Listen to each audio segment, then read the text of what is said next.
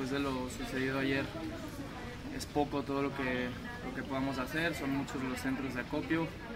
Eh, a última hora, ayer por, se organizó este de aquí en el TCM. Eh, si alguien me dio mucho o me dio la oportunidad de venir a este país fue, fue Santos, entonces yo me sentía un poquito en la obligación de, de hacer algo ligado a, a, Santos, a la laguna y a la gente de aquí. ¿no? Eh, aquí haciendo mi aportación, invitando a toda la gente que, que, quiera sumar su granito de arena, aquí lo estaremos esperando.